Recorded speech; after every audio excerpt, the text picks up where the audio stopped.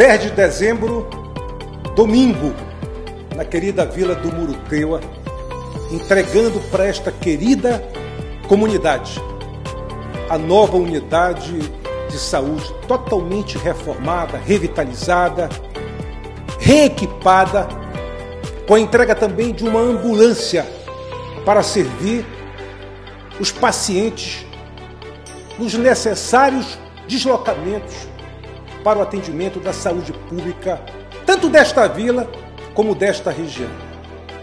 Isso faz parte da nossa estratégia de dotar, de reforçar a nossa estrutura de saúde para bem servir a nossa população.